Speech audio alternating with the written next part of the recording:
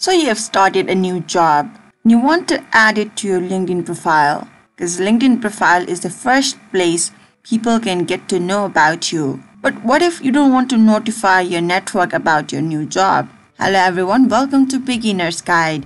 In today's guide, we're going to see how we can add a new job title to our LinkedIn profile without notifying our network or without notification. Well, it's pretty easy, so let's get started. Just log into your LinkedIn account. Now, at the top, you can see me.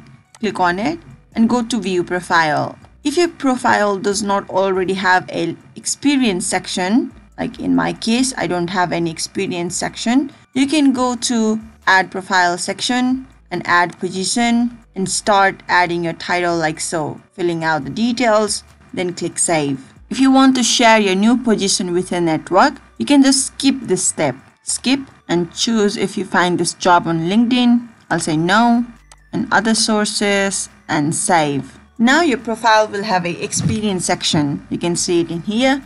If you want to add a new job when you have other experiences previously, to add a new position, click on this pencil icon next to the experience.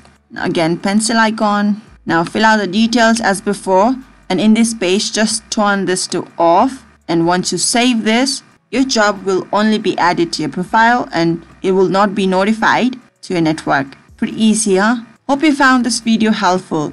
For future video updates similar to this one do subscribe to our channel beginners guide. Until next time bye bye